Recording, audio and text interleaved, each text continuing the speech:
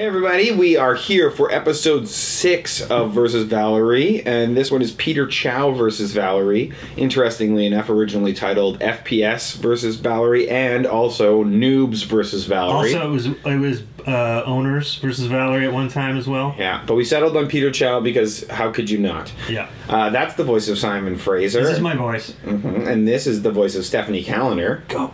Hi. Hi, stop. All right, good work. and this is uh, Peter Chao. Oh, and that's Mike that you heard off the top. Oh yeah. Uh, this is Peter Chao versus Valerie. Let's do it. Dun dun dun dun. This was the first thing that we shot ever. Oh yeah. Yeah. We shot this actually in the summer. It's so funny because most of our series is supposed to take place mo- like relatively in the summer, and uh, this is actually the only stuff we shot in the summer. But it was supposed to be March. March to August. Uh, no, this was uh, episode six. oh, this right, would have been like six. June or July. Oh, actually, that actually worked out. I was on our old schedule. It was supposed to be winter. and it was funny too because you know Adam and uh, Hannah had read all the scripts and they kind of knew what was going on and. For them to get tossed into this one as the first episode, like the first thing we do is like put them in army fatigue, slow motion cameras, give them guns, have Hot them run around this day. field. Yeah. Uh, it was lots of fun, and then Hannah had to like spurt up a giant blood bubble. After this, I think Hannah was like, "This is going to be the best way to spend the next couple weeks." Yeah. And uh we shot this as sort of uh, this is kind of our pilot episode in some ways, in that it's the first episode that we actually put together, and we used this as a as a our demo essentially for the entire series. It was the one episode that sort of told a, a single story well within the greater bo- within the body of the whole series, and we knew we could shoot it over the course of one or two days, and it had some action in it. It had some pathos in it. And So, yeah. this uh, and it had a guest star. and this episode uh, was written by Simon Fraser and Deb Robinson. Yeah, it was a lot of fun to work with Deb. Nice. And these are the guys from 3KB um, who are awesome. That's uh, on the right hand, you have Jay, then Mike, and then Kat. And uh, 3KB, we rolled into the storyline early on in the vlogs uh, when fictional Val dated real person Jay Hooft for a little bit, and we uh, we, we uh, showed their relationship over two or three months in the vlogs and on all the social media stuff that we did. Uh, and Jay actually had to kind of explain that to his then actual real life Yeah. girlfriend why he was fictionally dating this other girl uh, on the internet. That was very early. That was like February or March of 2011. Yeah, we had just started putting up videos, and um, and Jay and Mike found us because Jay was doing a contest thing on um, on 3KB about who's the sexiest, nerdiest girl or something, and they found us thinking that she was a real vlog instead of um, a fictionalized vlog. And so uh, I met with him and sort of gave him the whole scoop. Nice. And this uh, on the screen here is actually Davin Langell's uh, web series uh, called Brotherhood of Leet, which is all about like uh, the 8-bit video game wars. Yeah, it's like Band of Brothers Yeah. meets 8-bit video games. it's pretty cool. Yeah. That was Mick Foley. The voice of Voice on of the announcer. announces. Yeah. These did- were all kids who. Sorry, go ahead. Go ahead. Oh, that's it. I mean, just Mick Foley was doing a show at the Comedy Bar in Toronto, uh, and I asked him uh, like, "Oh, hey, what are you doing now?" And he's like, "Oh, me and my brothers, uh, buddies are going out for dinner." And I was like, "Well, tell you what, I'll uh, I'll buy you guys your dinner if you uh, do the voiceover for our episode of our show." And he's like, "Sure." So we took him into the back alley of the Comedy Bar in Toronto and got him to deliver the lines that we needed, and uh, it was awesome. He was uh, excited about it, and he I think he does a really good job of it. Peter Chao's, the team that Peter Chao is playing with, were all uh, members of this paintball club. Yeah, that Camp X paintball. Uh, these are all their like elite players that get together all the time and uh, and play on the course. That's all their own gear that they're wearing, uh, and they all kind of decked out Peter Chao in their like highest end stuff, uh, which I thought was awesome. Yeah. Yeah, and uh, we got a little bit of flack from the paintball community for not using full face masks on everybody, um, and we talked about it uh, on our writing side of it. And um, I was like, we should use full face masks. And then uh, Steph brought up the community episodes uh, that are the paintball episodes, and uh, I was like, yeah, you're right. You know what? If we're not wearing full face masks, You can actually see them emote. yeah, so we uh, we went for it. So the owners are actually using their real gear, except for Peter Chao is wearing just his glasses, and then our team are in these clear glasses, so you can actually see their faces. You got to see their face. Yeah, otherwise It's it would more just important. be a bunch of subtitles. Right. It would just be Power Rangers Yeah. as a comedy. For sure, Steph was the smart one in that in that moment. But I get it. We want to go legit because for uh, any fan who's watching, we know that they're going to notice those type of uh, inaccuracies for sure. Yeah, absolutely. So we want to make sure our fans are happy. This is true. We yeah, we tried to do that whenever we could, like just to make sure everything was like true to the source material we were referencing, or true to uh, like the details. We do that all the time in the vlogs. Like we, we don't try not to make things just a surface connection because we're all nerds and we all love the things we write about. So it becomes one of those things where we want to make sure it's as real and as true to that stuff as possible. While still retaining a truth for the character. Yeah, absolutely. What you're seeing now of, of uh, someone talking to their friend, for instance, about another friend is super real. That happens all the time. it does. Like, val- trying to set up your friend with someone, it's tough work. You gotta get in there, you gotta be subtle about it. You're a regular day Emma. Thank you. Nice. And this shot was fun because we uh, we had a steady cam for a bit, so uh, Oh, it that's was, right. It was fun for Brett, and although it was very hot out that Yeah. day, and like Toronto gets crazy humid, uh, so like not This only was was it- August. this was August, and it's like 30 degrees out, but it's also like you know 95 percent humidity. Yeah. So uh, like there were moments where people were sweating through their overalls, and We're in the forest. There's bugs everywhere. Oh, yeah. yeah, you can hear the cicadas every once in a while who were having one of their cicada mating frenzies. Yeah. And this is another full day of shooting. Uh, I mean, we had to stop because of daylight at a certain point. Yes. But we shot right up until like it was starting to get dark. Indeed. And then afterwards, the crew went out and shot each other with paintballs, which was kind of fun. Uh,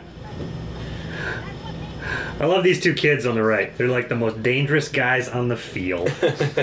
They're small and nimble, right? Yeah, Yeah, and they have nothing. They have no, no life experience, so they have nothing to lose. right. Exactly. No shame. Nice. And uh, Peter Chao is awesome. He's hilarious and was totally committed to doing this show. I mean, it, it's one of those things when you invite people to your set and uh, you never know like if they're going to bring their A game. And he for sure brought his A game. He was really excited to come out to Toronto and do this with us, uh, and he was really fun to work with. And he brought a variety of sunglasses for us to choose Yes, which ones. that's right too. He brought like three or four. Yeah, there's only a couple times that you can actually see the crew in the reflection of his glasses. We tried really hard to make that There work are. out. Yeah, We were there a second yeah, ago. briefly. And then there's another shot too when uh, Val is about to make her her boob known uh, Oh, that you that's can right. see. Make her boob known. Yeah. known in the biblical sense. Yes, of course. And we got a lot of flack on, on that one too. There were a lot of people who were like, Val should never have done that. That steps on her morals. She had to. But it was one of those things where we were like, uh, you know, Val is okay with things. Uh, she's okay with her body. She's okay with, uh, with you know, talking about sex and doing sex stuff. And so she knew that that would be an easy leverage point for Peter Chao's character. Also, Guy doesn't know that she did that. This that's something I pointed out to somebody in a comment that Guy does not know that she did that, and that might come back to haunt them in a future episode. Oh, you maybe. never know. You never know. Nice. And he's such a like just a pure prick in that Oh, moment. he's so good at being a I prick. I love it. It's great. yeah, Butthole fingering was that you, Steph? Yeah. unsolicited, unsolicited butthole fingering. Yeah. Now that that corner is not the same corner. Now we're down the wall further. I love that.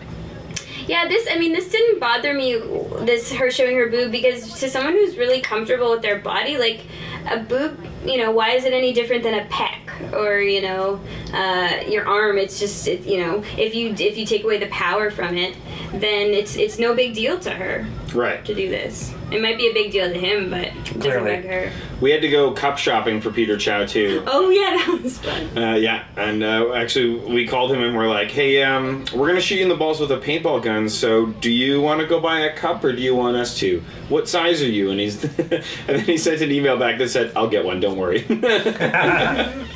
uh, we shot this sequence like four or five times uh, of Brett wearing the uh, the Steadicam vest, and it's like a three minute shot if you Oh, let it yeah. play to its entirety. So it, it definitely was something oh, I, that re- was I remember calling out cues to these actors. I remember this was such a technical shot. Yeah. And it's fun. Like I like with this track, it, you kind of get that. It, like it's not quite FPS exactly, but it like kind of captures the spirit of paintball as much as it captures the spirit of an FPS game. Who did this uh, music? This is Prono Bozo as well. This Oh, is one of his tracks. I love this track. I too. love the sunglasses in the top left corner. Like that's her her helmet is the sunglasses. Yeah, it's it's her her. Uh, it's like a power Special upgrade. power, yeah. That's another thing that I like about incorporating Peter Chao is one of the things that he has is you never see him without a sunglasses. You never see his eyes, uh, and we use that so that you never see his eyes in this episode. There's a, occasionally a moment where you might have seen his eyes, but you didn't because we cut too soon or too late for you to see his eyes. Yeah. And I love that that line there that Adam improvised too of the like the, the place you least expect me behind barrels. It's Yeah. just it's so flat and it's so whatever. It's very guy, very funny. Uh, and this shot here is interesting too because um, it was very late in the day, so the Yeah. shadows were getting pretty long on Val. Uh, so it was actually kind of hard to get this effect where Peter Chao uh, walks over and his shadow kind of covers her face after this little aside. But we managed. That was to make it work. improvised too. The gelato lines. Yeah, that was a good improvised line because it called back to the teaser uh, where she Oh, says, right. "Go for gelato." Nice. I thought that was really good. And then this is a classic thing you see in uh, FPS games. Oh yeah, obviously uh, the stealing of sunglasses. Or the no, the teabagging, teabagging the dead body. yeah. When we were at Fan Expo, we had this. Uh, we had like a little show reel cut uh, on a loop so that people could see it. And when we were at VidCon too, uh, and uh, that was one of the shots that would come up, and you'd get all these guys walking by, and they would stop and they would look at the teabagging going on, and then they'd be like, "Uh huh," and they would grab a, a flyer and then walk away. like that was the selling point for them. oh, there's teabagging in this show. Okay, Sold. I'm in. I'm in. I loved it. Very fun. Yeah, my favorite part in in the script, Simon, that uh, you that you you put in there was um, that Val get the Val the Peter Chao vision when she puts on the sunglasses. Yeah. I love that she's got it's a whole nother set of vision. It's like a great fantasy example. Yeah, it's like his sunglasses are the character. Yeah. So she becomes a little bit of Peter Chao when she puts them on. Yeah, she turns into a jerk. Shoots shoots everybody except, for- Except except the two guys playing ball tag. yeah, which is too bad because in the final cut it's not as clear. But uh, every take that we did, it was always like Jay and Mike actually playing ball tag. Like Yeah. they knew they had to like pretend to play ball tag, Right. But they were I think legitimately. I think they got each other a few times. Yeah, there was one that where they both ended up falling at the same time, uh, groaning. and then when we got back, uh, Mike was like, "Whoa, you really got me good that one." we are like, "Oh no, that sucks." Going again. Oh man. Yeah, that was a fun day though. We had a Yeah. great crew. Uh, I think we actually had Nabil out that day as well. Um, it was his jib that we used in the teaser shot to get that kind of like classic camera rising above a guy while he's holding Val's Yeah. Uh, dead corpse, and it was uh, it was an awesome thing too because we knew we wanted that shot and then the first shot on the jib as well. So Nabil opened it up and it turns out that he had lent it to somebody the day before and they return it and Nabil was like, make sure you break it down afterwards. And the guy had literally broken it down to every nut and bolt. So he'd taken the whole thing apart and I just remember Nabil's face as he opened the bag and then he went to like kind of take it out of the bag and everything Oh, just poured right, on the I ground remember, and we I remember like, be- there being a delay on that first shot. yeah, we had Right. to wait for almost two and a half hours for them to build the Right. jib. So we went and shot everything else that we could. While poor was in the middle of the in the hot summer sunshine trying to like build this intricate device that can you know Ma- cantilever. ma- Make a cam- make a camera rise four feet. yeah, yeah. But it worked out, and uh, I think it looked really nice in the end. Yeah, that teaser it looks really awesome, and it's uh, it's definitely was was a great way to start shooting this season. Yeah, you guys stick around for episode seven. There's zombies, and there's also Kaya Green. She's back. Here, give them a little hint of what you'll sound like in episode seven. I'm gonna sound like this probably. That's Kaya. She's gonna be in the next episode. Check it out. Here the whole time. Yeah, spooky, real spooky.